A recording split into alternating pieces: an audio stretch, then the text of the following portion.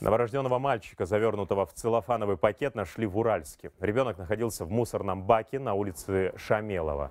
Местные жители сразу же доставили его в больницу. Сейчас им занимаются врачи. Полиция установила личность его матери. В интересах следствия информацию о ней не разглашают. Идет досудебное расследование.